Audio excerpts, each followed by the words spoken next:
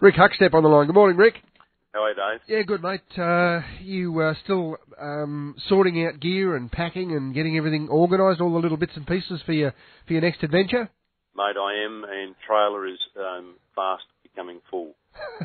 mate, it was full before you started. uh, I'll tell you, it's got good suspension on it. It'll just keep sagging a bit further, but uh, no, it's all looking good, mate. And um, I've um, got all my battery situation sorted out. What did, what did you end up do for uh, for for your batteries, for your battery charging and that? Well, I've got in the trailer itself. I've got 365 amp hour batteries uh, hooked up, and um, I can put them in. Uh, if I pull into a park somewhere, which I don't like to go to normally, I can plug in. I've got a Waeco um, charger that um, comes off a 240 volt. But when I'm on the road, I like to feed it off of a um, uh, an Anderson plug at the back of the car, and that's obviously the power coming through from the alternator. But on the shakedown trip I did, I, I got to Darwin and I bought a battery dry. And um, I'm not a, a very good auto mecha- uh, auto uh, electrician or a mechanic for that matter, but um, what was happening is that uh, the alternator regulator senses that there's a flat battery somewhere, uh, namely the ones in the trailer, so it opens up the gate and gives it full charge right the way through. Of course, the first battery it gets to, the full charge uh, goes into the cranking battery, and I was boiling the battery dry. Right. Okay. Yeah. So I had to look at that, and uh, because I I've got a, a Honda 1 kVA gen set that I can run when I'm out in the bush, but you know you're using one to two litres of fuel a day, and there's something else to service and look after, and I, I was a bit low to do that. Um, but I got onto this thing uh, through a, uh, this little charger. It's called a REDARC, and um, the guy that checked my batteries up in Darwin told me about it. Not a cheap thing. It's about 420 odd dollars, I think, but uh, in the end, I the boiled battery cost me 250. So uh, probably a good investment. And what it is is actually a small charger, and it is small. It's only the size of two mobile telephones, probably, and um, it still plugs into that Anderson plug, but it takes 12 volt, uh, and it's only a trickle, and it charges 20 amp out the other side.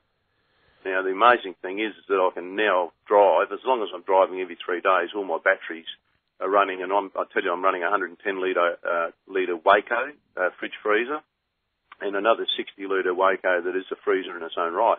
And uh, three days is no problems, and as long as I'm driving within three days, it all charges up again.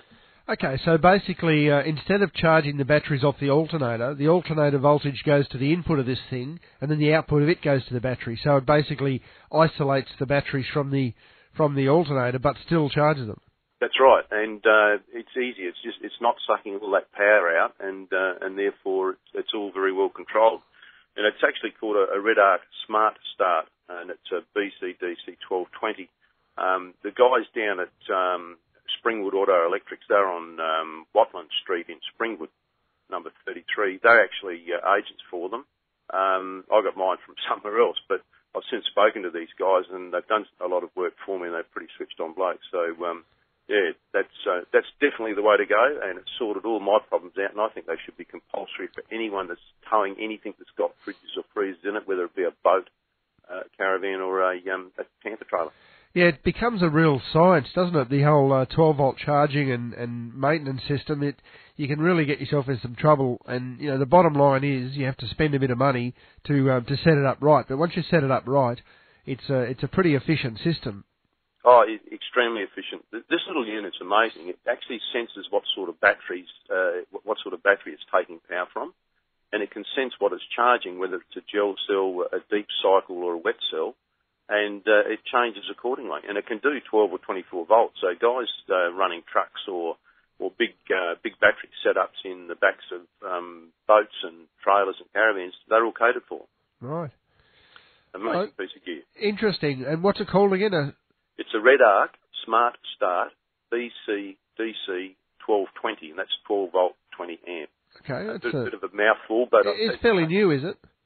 Yeah, they've only been out for about eight nine months that I can tell. There, there, there was an earlier one which was a, a six amp charger, and of course this one being 20 is well suited to what I'm doing with a big bank of batteries. And I just can't believe it. I can I can drive for the day and I can pull up and I look at the voltmeter in the trailer, and uh, mate, it's got 13 and a half, 14 volts all of the time until mm. I run for a day or two. And you know, I, I use my fridges and my Waeco fridges and freezers. You know, we're into them all the time, mate. You know, drinks time and that sort of thing. mate, I've seen you.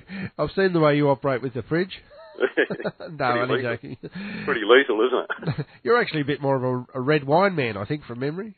I like a cleansing ale. But, uh, there's, there's, nothing like a, a, nice red wine, especially with a bit of um, wild killed um, game. All right, Rick. Appreciate your time, mate. Good on you, Dave.